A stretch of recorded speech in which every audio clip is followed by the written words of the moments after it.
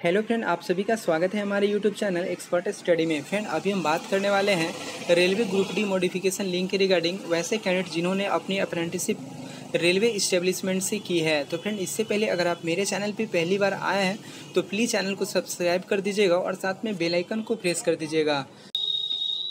जैसा कि फ्रेंड, आप सभी को पता है कि हम लोग की प्रमुख मांगे जो है, वह रेलवे ग्रुप डी 2019 की भर्ती में मॉडिफिकेशन लिंक को लेकर के है। और फ्रेंड मॉडिफिकेशन लिंक की मांग हम लोग इसलिए कर रहे हैं क्योंकि फ्रेंड हम लोगों ने एक साल पूरी मेहनत और ईमानदारी से रेलवे को दिया है। तो फ्रेंड हम लोग को मॉडिफिकेशन लिंक मिलना चाहिए। और फ्रेंड आपने देखा होगा कि रेलवे बोर्ड के द्वारा रेलवे ग्रुप डी दो हज़ार उन्नीस की भर्ती में कई बार संशोधित किया गया है। कई बार नए नए अमेंडमेंट लाए गए हैं और फिर भर्ती प्रक्रिया में बदलाव भी किया गया है। जैसा कि फ्रेंड आप सभी को पता होगा कि रेलवे बोर्ड के द्वारा कई बार मॉडिफिकेशन लिंक दिया गया था और वैसे कैंडिडेट जिन्होंने अपनी अप्रेंटिसशिप बारह चार दो के पहले किया था तो फ्रेंड उन्हीं लोगों को रेलवे बोर्ड के द्वारा मौका दिया गया कि आप लोग मॉडिफिकेशन करके आ जाइए। लेकिन फिर बारह चार दो के बाद नहीं किया गया। लेकिन फिर यहाँ पर यह भी देखा गया है कि बहुत सारे ऐसे कैंडिडेट थे जो कि ई डब्ल्यू एस कैटेगरी से बिलोंग करते थे और उन्होंने अपनी ई डब्ल्यू एस का वहाँ पे क्राइटेरिया नहीं दिया था। लेकिन फ्रेंड उन्हें भी संशोधित किया गया। उनका फाइनेंशियल ईयर पहले पूर्व में अठारह से उन्नीस, ठीक है, दो हज़ार अठारह से उन्नीस रखा गया था कि आप लोग का फाइनेंशियल ईयर जो होना चाहिए दो हज़ार अठारह से उन्नीस होना चाहिए। तो फ्रेंड, उनका जो अमेंडमेंट आया, जिसमें कि बाद में कहा गया कि आपका जो सर्टिफिकेट जो मान होगा, आप at the time of document verification यानी कि डॉक्यूमेंट वेरिफिकेशन तक के आपको मान कर दिया गया है। यानी कि आप at the time of document verification तक के आप सर्टिफिकेट दे सकते हैं। यानी कि फ्रेंड ये सब बदलाव किए गए हैं। जब ई डब्ल्यू एस के नियम में बदलाव हो सकता है तो अप्रेंटिसिप जो, जिन्होंने रेलवे को एक साल दिया है और उन्होंने बारह चार दो उन्नीस के बाद कंप्लीट किया है तो उनको क्यों नहीं यहाँ पे रिजर्वेशन दिया जा सकता है? तो फ्रेंड यहाँ पे उनको भी रिजर्वेशन मिलना चाहिए। लेकिन रेलवे मंत्रालय जो है, यह मानने को तैयार नहीं है। रेलवे के द्वारा कई बार यह लिखा गया है कि आपका जो कट ऑफ़ डेट है, वह बारह चार दो हज़ार उन्नीस के बारह चार दो हज़ार उन्नीस तक के रखा गया है, जो कि यह पटना आरआरबी पटना का ये रिप्लाई आया था कि आपका जो कट ऑफ़ है बारह चार दो उन्नीस का है, इसीलिए हम आपको यहाँ पे रिलीफ नहीं दे सकते हैं। तो फ्रेंड आप लोग बताइए कि एक ही भर्ती में दो नियम कैसे हो सकता है? यहाँ पे वैसे कैंडिडेट को भी बेनिफिट मिलना चाहिए जिन्होंने अपनी अप्रेंटिसशिप बारह चार दो उन्नीस के बाद कंप्लीट की है। क्योंकि फ्रेंड यहाँ पे देखा गया है कि रेलवे के द्वारा कई बार मॉडिफिकेशन लिंक दिया गया है। बहुत सारे कैंडिडेट ऐसे थे जिन्होंने अप्रेंटिसशिप तो कर रखी थी लेकिन फॉर्म भरते टाइम येस नहीं किए थे। यानी कि अप्रेंटिसशिप का कॉलम जो था येस नहीं किया था। तो ये गलती आ, ये गलती बच्चों का है ठीक है? ये रेलवे का गलती नहीं था। फिर भी रेलवे के द्वारा इन बच्चों को दिया गया। तो फ्रेंड वैसे कैंडिडेट को क्यों नहीं दिया जाएगा? जो कि रेलवे से बारह चार दो उन्नीस के बाद अप्रेंटिसशिप किया है। चलिए फ्रेंड बात करते हैं एक रेलवे मंत्री जी का रिप्लाई के ऊपर।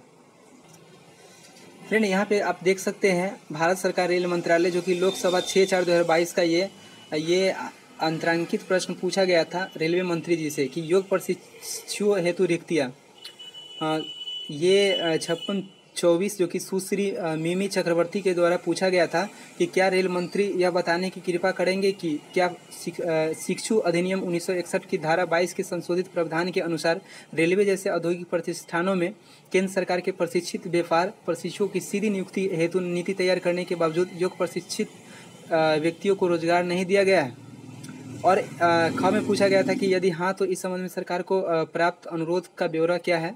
और रेल मंत्रालय अगर इन सभी को नौकरी दिया है तो उसका ब्यौरा भी पूछा गया था और विभिन्न जोनल रेलवे में योग और सफल प्रशिक्षुओं की रिक्तियों के संबंध में उनसे प्राप्त की गई सूचना क्या है और सरकार का कुशल व्यापार प्रशिक्षुओं को रोज़गार प्रदान करने हेतु क्या निर्देश और अधिसूचना है तथा इसके लिए निर्धारित समय सीमा क्या है? देखिए, यहाँ पे इन्होंने समय सीमा भी पूछा था कि आप अपनी समय सीमा बताइए कि आप भर्ती प्रक्रिया को कितना टाइम में कंप्लीट करवाते हैं, ठीक है?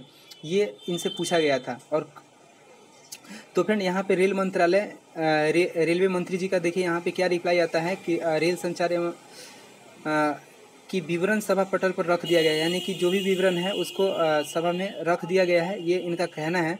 और फिर यहाँ पे आप देख सकते हैं कि योग प्रशिक्षु हेतु रिक्तियों के संबंध में छः चार दो हज़ार बाईस को लोकसभा में सुश्री मी, मिमी चक्रवर्ती के आंतरिक प्रश्न इतना के उत्तर से संबंधित विवरण। ठीक है?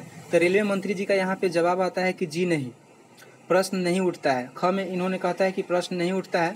और यहाँ पे देखिए ग में क्या कह, कह रहे हैं कि प्रशिक्षु अधिनियम उन्नीस सौ इकसठ की धारा 22 में संशोधन के अनुसार जून 2016 में कि रेलवे रेलों में लेवल वन में सीधी भर्ती के मामले में अधिसूचना रिक्तियों के लिए रेलवे संस्थानों में प्रशिक्षित प्रशिक्षुओं को जिन्होंने पाठ्यक्रम को पूरा कर लिया उन्हें 20 प्रतिशत की सीमा तक प्राथमिक प्राथमिकता दिए जाने के संबंध में आदेश जारी किए गए थे। यानी कि ये इन्हों, इन्होंने ये कह रहे हैं कि रेलवे में लेवल वन की जो रिक्रूटमेंट है उसमें 20 प्रतिशत सीसीए वालों को दिया जाता है। इनका कहना है रेलों में लेवल वन में भर्ती के लिए दो केंद्रीकृत रोज़गार अधिसूचना प्रकाशित की गई है जिसमें उसके बाद मौजूदा अनुदेशों में दिए गए अनुसार सीसीए के लिए रिक्तियाँ अधिसूचना की गई थी। केंद्रीकृत रोज़गार सूचना विज्ञापन संख्या 2018 यानी कि 2018 की जो रिक्रूटमेंट ग्रुप डी का आया था उस के बारे में यहाँ पे कहा जा रहा है के अंतर्गत आयोजित की गई भर्ती में सीसीए के लिए बारह हज़ार पाँच सौ चार रिक्तियाँ अधिसूचित की गई थी। तो फ्रेंड, यहाँ पे ये कहा जा रहा है कि 2018 की जब भर्ती आई थी, वहाँ पे बारह हज़ार पाँच सौ चार रिक्तियाँ सी वालों के लिए था।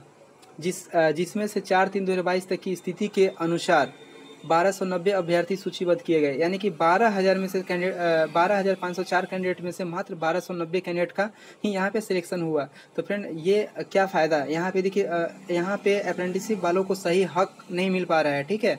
तो यहाँ पे बारह हज़ार पाँच सौ चार में मात्र बारह सौ नब्बे कैंडिडेट का ही यहाँ पे सिलेक्शन हुआ। ये कहीं से भी सही नहीं है, ठीक है?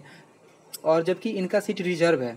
तो इनका रिज़र्व है तो इनका यहाँ पे सीट फुलफिल होना चाहिए। लेकिन फ्रेंड यहाँ पे क्या कर लिया गया? कि बारह हज़ार बारह सौ नब्बे के बाद जो भी सीट बचा उसे जनरल कैंडिडेट में कंसिडर कर लिया गया। और केंद्रीकृत रोज़गार अधिसूचना C N R R C एक अब्लिक दो हज़ार उन्नीस के अंतर्गत जो परीक्षा के चरण में है मैं सी के लिए बीस हज़ार सात सौ चौंतीस रिक्तियाँ अधिसूचित की गई है। तो इन्होंने ये कह रहे हैं कि दो हज़ार दो हज़ार उन्नीस की जो भर्ती आई हुई, जिसमें बीस हज़ार सात सौ चौंतीस रिक्तियाँ है। बीस हज़ार फ्रेंड सात सौ चौंतीस रिक्तियाँ सी सी ए वालों के लिए हैं। लेकिन फ्रेंड यहाँ पे कैंडिडेट भी उतना नहीं है। मात्र अगर देखा जाए तो बारह से पंद्रह हज़ार कैंडिडेट ही फॉर्म को फिल किए हैं। तो सोच सकते हैं फ्रेंड कि यहाँ पे भी भर्तियाँ जो हैं, रिक्तियाँ रहने वाला है। फ्रेंड यहाँ पे मुश्किल से अगर भाड़ा भी जाएगा तो फ्रेंड दस से बारह हज़ार से ज़्यादा सीट फुलफिल नहीं किया जाएगा। आप देख लीजिएगा, ठीक है? अगर यह सीट नहीं भरता है तो फ्रेंड ये जो है जनरल कैंडिडेट में कंसीडर कर लिया जाएगा, लेकिन ऐसा नहीं होना चाहिए। अगर यह सीट रिक्तिया रह जाता है तो फिर नेक्स्ट वैकेंसी में इसे ऐड करके आना चाहिए। लेकिन ऐसा होता नहीं है। तो फ्रेंड, यही वो अपडेट्स था सीसीए वालों के लिए और फ्रेंड आज हम लोग का सुप्रीम कोर्ट में सुनवाई है। भगवान करे कि सीसीए के पक्ष में सुनवाई हो। तो फ्रेंड, यही वो अपडेट्स था। फ्रेंड, आज के लिए इतना ही रखता हूँ। फ्रेंड, जैसे ही सुप्रीम कोर्ट से कोई अपडेट्स आता है, मैं आप लोगों को बताने का प्रयास करूँगा। तो फ्रेंड, आज के लिए इतना ही रखता हूँ।